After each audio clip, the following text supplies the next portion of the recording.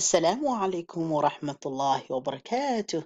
Let's welcome the learning of Arabic short sounds. Fataha. Fataha is the sign that goes on top of the letter. And we will say ha, ra, sa. Ha, ra, sa. Next. Oh, before we go next, let's practice it.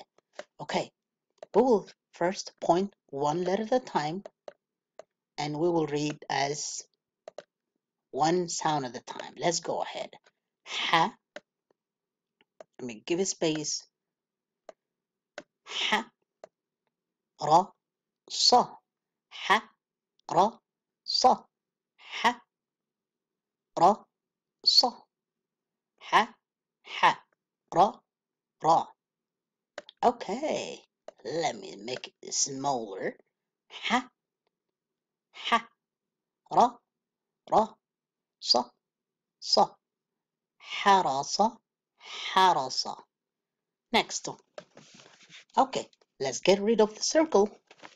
Okay. Let's get our pointer.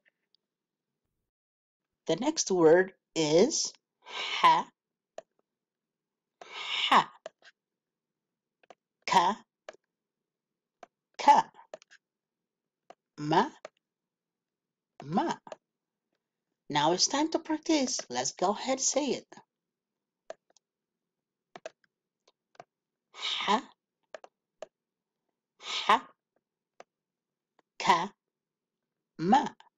Ha. Ka. Ma. Ha. Ha. Ka. Ka. Ma. Ma. Perfect. Now let's say it again together. Ha. Ka. Ma. Ha. Ka. Ma. Hakama. Hakama. Let's go back to the top. Ha. Ra. Sa. Ha. Ra. Sa. Ha. Ka. Ma. Hakama. Harasa. Harasa. Harasa.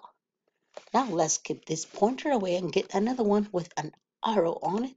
Okay, maybe we can practice with a different pointer.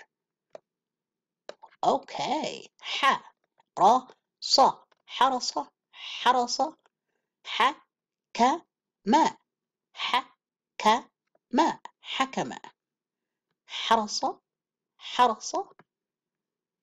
Hakama, Hakama.